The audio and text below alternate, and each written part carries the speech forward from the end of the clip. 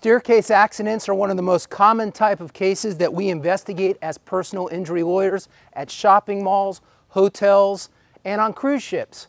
The problem is with stairs that there are very specific code requirements as to how high the railings need to be, how thick they need to be, and every step has what's called a tread and a riser. And when you have steps like this with different length treads and different height risers, they can become extremely dangerous.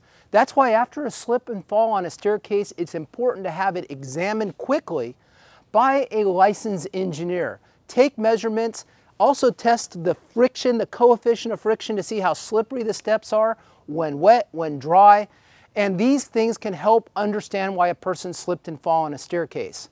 If you've been involved in a slip and fall on a staircase, it's important to call a lawyer who's experienced in premise liability cases.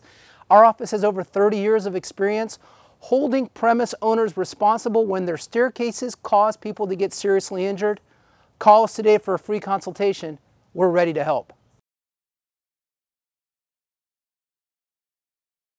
Thank you for watching our video. Please be sure to subscribe to the Aronfeld Trial Lawyers channel by clicking subscribe above.